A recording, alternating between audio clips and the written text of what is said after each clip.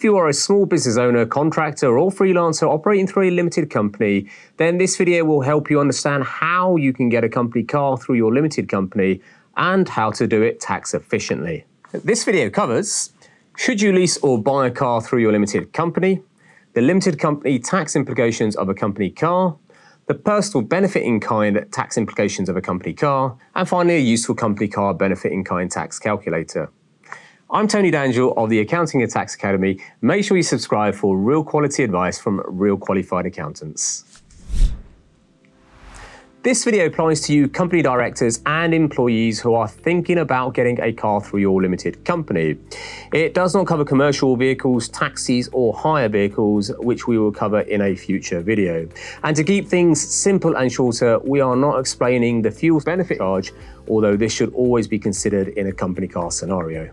For many years, when the only two car options were petrol or diesel, the perks of a company car through your limited company were long gone and quite literally taxing. However, since the advent of hybrid plug-in electric vehicles and fully electric cars, the UK government is now encouraging motorists to get one of these through generous tax breaks and even grants. Yes, grants. You can get a grant of up to a maximum of £3,000 for a plug-in low-emission vehicle. So follow the link in the description below for more details on this. The first thing to consider here is your cash flow. Let's say, for example, you're looking to acquire a Tesla Model S, which retails at around about £80,000 from new. Your company will need £80,000 in liquid cash, or you will need to arrange a finance payment plan for installments. And the latter is subject to a finance company lending to your limited company, which depends on a lot of various factors. From an accounting and tax perspective, your limited company will be the legal owner of the car and it will become an asset of the company.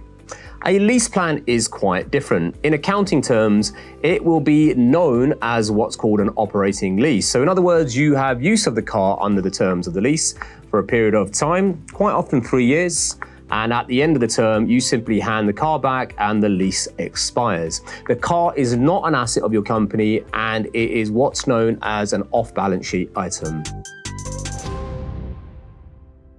If your limited company buys the car outright, then it becomes an asset of the company.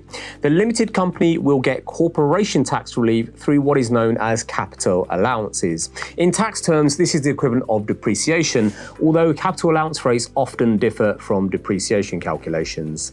And as usual, the lower the CO2 emissions, the more favourable the capital allowances rates are going to be. If your limited company enters into an operating lease agreement, then the monthly lease payments are an allowable expense and get corporation tax relief as incurred.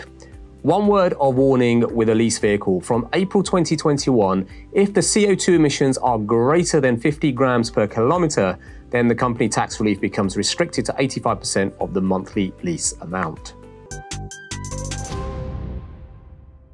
Now, this is where it gets very interesting. For any expenditure to be allowable through your limited company for corporation tax relief, it needs to be wholly and exclusively for the purpose of your business. For example, a laptop can quite easily meet this criteria even if you do use it incidentally for personal use.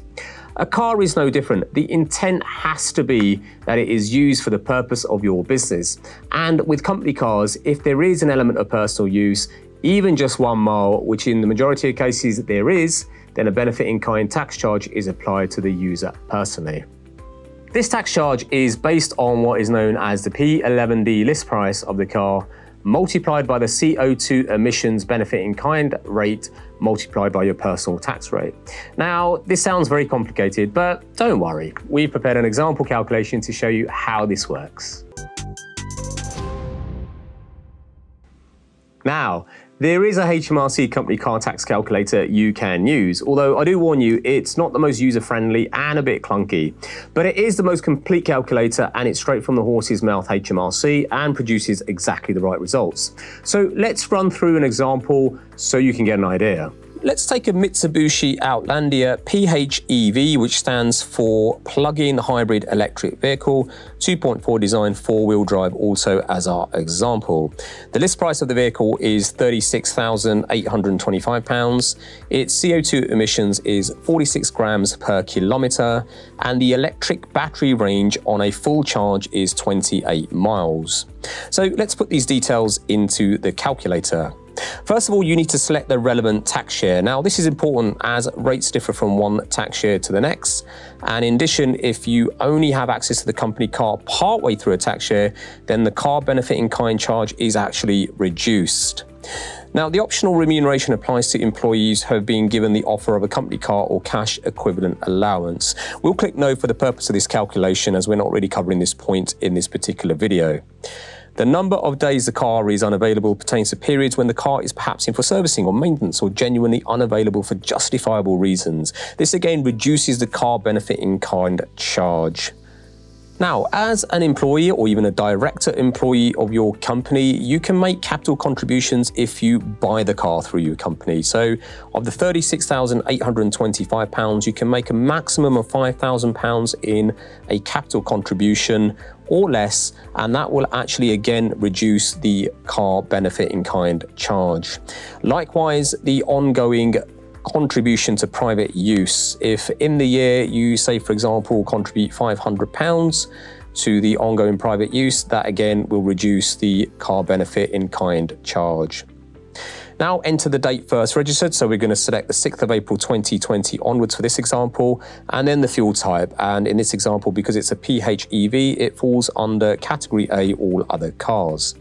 The engine capacity we know is 1401cc to 2000cc. The next thing you want to do is put in the approved CO2 emissions figure. And we know in this instance it's 46 grams per kilometre. And by putting that in, a new box appears and you can see it's called zero emission mileage. Now, this appears because any sort of CO2 emissions between 1 and 50, then the next question that will be asked is how much can the car do in terms of mileage on a single charge? And that's why that box appears. And what you'll find out is if I put, let's say, a figure of 52, in the CO2 emissions figure box, that zero emission mileage box will actually disappear. Now, the next question is car does not have a CO2 emissions figure. Well, in 99% of cases, most cars, or certainly new cars, will certainly have that figure. So you should be able to get that and put it into the relevant box. In this instance, we're going to say that your employer does not pay for private fuel and there's no fuel provided for an optional remuneration arrangement. So no in both of those boxes. Once done, you click on next. And here are the results. You can see the car benefit charge at the top at 2020-21 is £4,176. Now, that's not the amount of tax you pay, that's just the car benefit charge.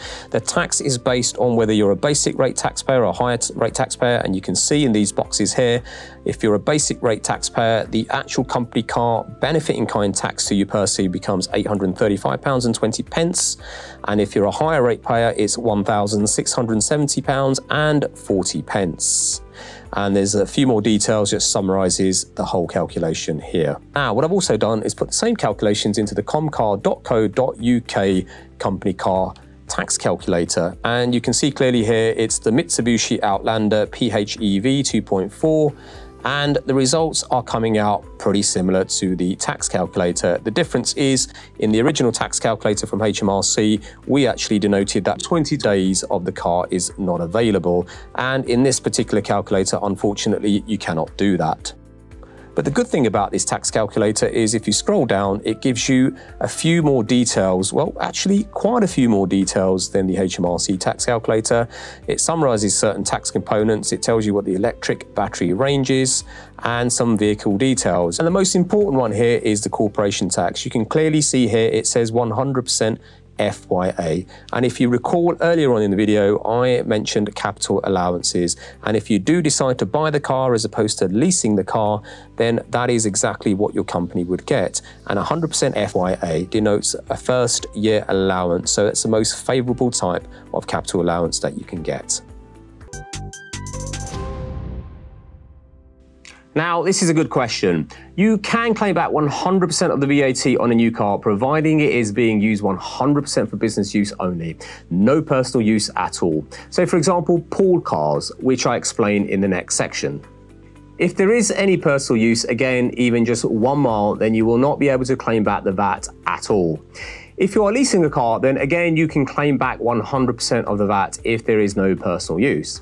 The good news here is that if there is personal use, then you can still claim back 50% of the VAT.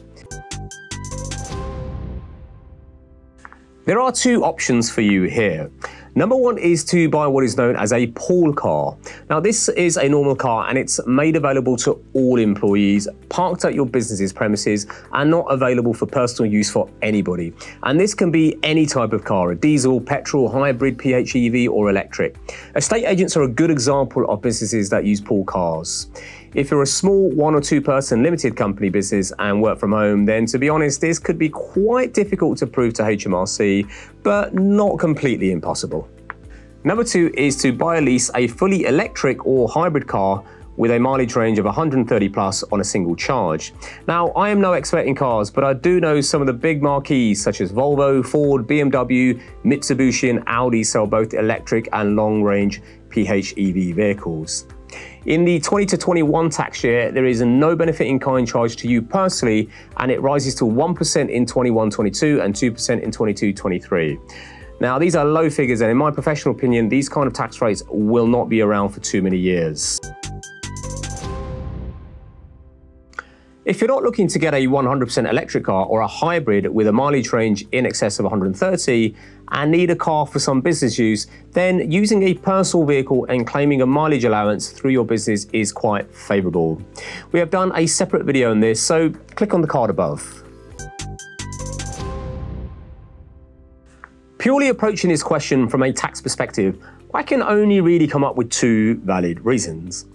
Number one, if you are genuinely going to use a car for business purposes only. So a pool car is the best example here, where it is made available to all employees and stays on the business's premises with no personal use by anybody. Or number two, if it is a 100% electric car or hybrid car with 130 mile range on a single charge.